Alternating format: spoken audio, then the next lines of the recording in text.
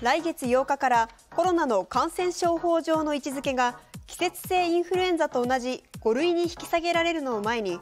北九州市の病院が感染対策を見直しました。原則禁止としていた入院患者の面会が復活しました。これまで必ずしていた病院入り口での消毒。今日からその必要はありません北九州市小倉北区の小倉記念病院です。先週金曜日には正面玄関を入ってすぐの場所に設置されていた消毒液と体温測定器が今日はすべて撤去されていました。来月8日にコロナが5類に引き下げられるのを前に感染対策を見直したものです。今後はそれぞれの診療科前での手指消毒を呼びかけます。また休憩スペースは椅子だけとなっていましたが今日からは再びテーブルが置かれ訪れた人がゆっくり過ごすことができるようになりました。職員は今日からフェイスシールドを外してマスクだけとなりました。それの方がね安心して話も聞けるし聞く方もよく聞こえる。明るくなったしね。ほらフリーで入りやすくなったしね。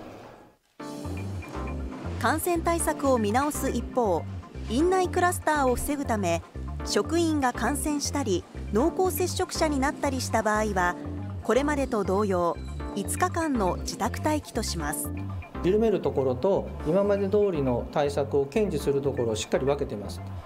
この5類を、え契機にですね、ま開かれた病院に戻そうというようなことはあります。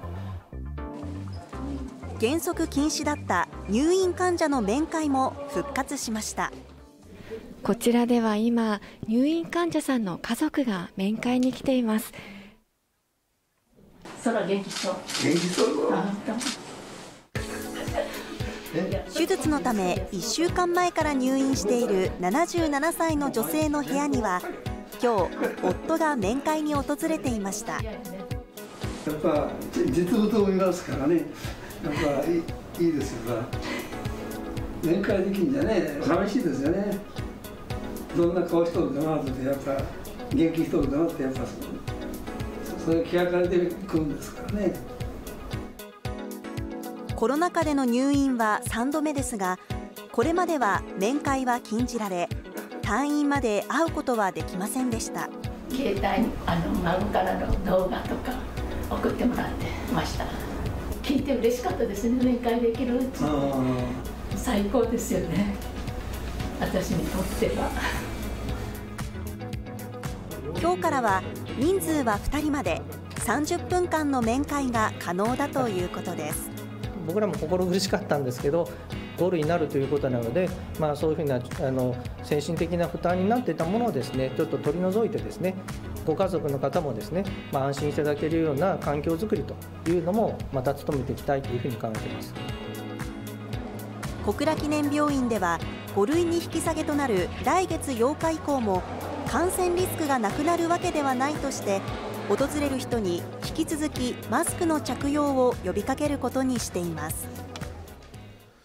さてこの5類引き下げで何がどう変わっていくのか、はい、というのはこちらですね、はい。はい、えー、まずは自宅療養について見ていきます。これまではこちら、えー、自宅療養発症後7日間は原則として外出自粛を要請されていました